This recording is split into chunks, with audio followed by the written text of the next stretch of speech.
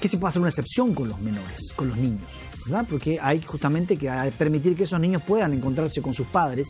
Hay muchos de los papás que han venido por adelantado y están esperando o estaban ya en vías de traer a sus hijos. Y eso no podría truncarse. Muy bien, bueno, nos vamos a más información ahora desde Iquitos.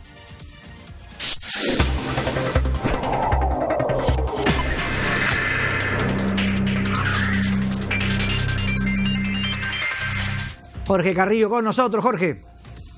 Armando, ¿qué tal? Buenas tardes. Más de 600 mil soles en joyas de oro de 18 y 24 quilates se llevaron un grupo de delincuentes luego de robar en una joyería ubicada en la calle Arica, cuadra 5, en el centro de esta ciudad.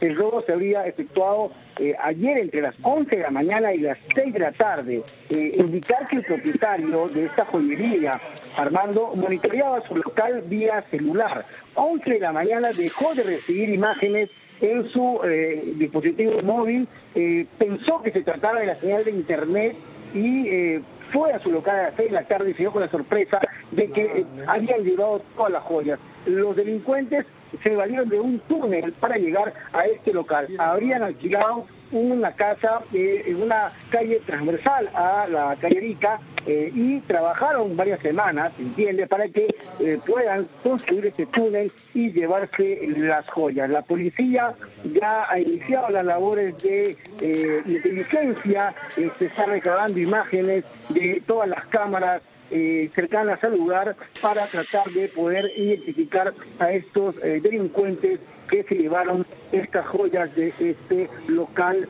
eh, comercial aquí en la ciudad de Quito, Armando. Gracias, Jorge. Gracias por esa información. Delincuentes realizaron este túnel. Vean ustedes la sofisticación de la delincuencia que hay que combatir, por supuesto. Y vamos, si las autoridades puedan finalmente dar. Ahí está la imagen. Como en las películas.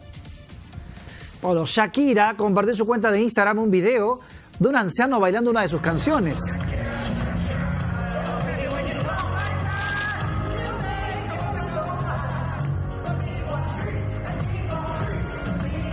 50